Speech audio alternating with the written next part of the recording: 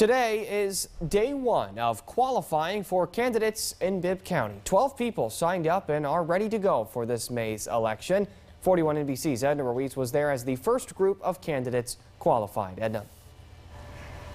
Michael, eight positions all within the Board of Education, Macon Water Authority, and court judges are all up for grabs. I caught up with a few candidates this morning, some new and familiar faces. It starts with wanting to make a difference, If I'm going to talk about it, I need to be about it. then qualifying.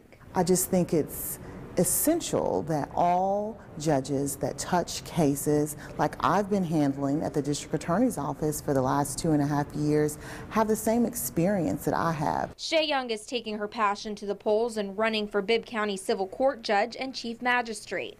We all should work together in the court system, and I just think it would be awesome if we have that where it starts, which is in the magistrate. It's kind of the foundation for our court system. Like Young, former Bibb County teacher Dr. Lisa Garrett is running in the nonpartisan election for the first time. I'm just not ready to give up. I think um, I think I still have a lot to give, and I'd like to uh, help the school system that raised me.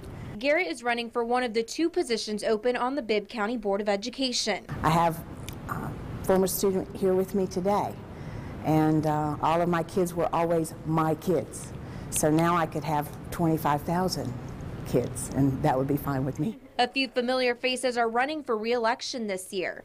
Three of those on the Macon Water Authority. It's still work to be done, and I want to help to, to continue to, to improve and get the services that the people need, you know. So. It's a very fulfilling job. It's something that's uh, important to the community, and uh, I just want to serve and pay back to this community what they've done for me for so many years. Different positions, different people, but all with the same goal to serve Macon Bibb County. A lot of feelings wrapped up into one, um, but most of all, this is kind of the beginning of it all, so I'm, I'm super excited to see how everything pans out. And there's still time to qualify. The Macon Bibb County Board of Elections office is taking applications today through Thursday from 9 a.m. to 5 p.m. and Friday from 9 a.m. to noon. A final list of all the candidates is expected to be completed this Friday by 2 p.m. Michael?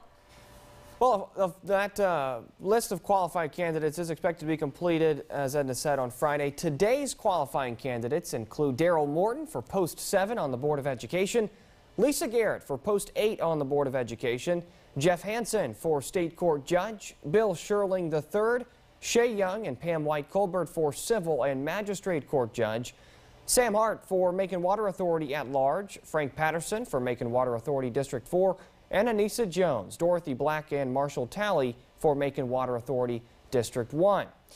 Jeffrey Monroe for State Court Judge as well.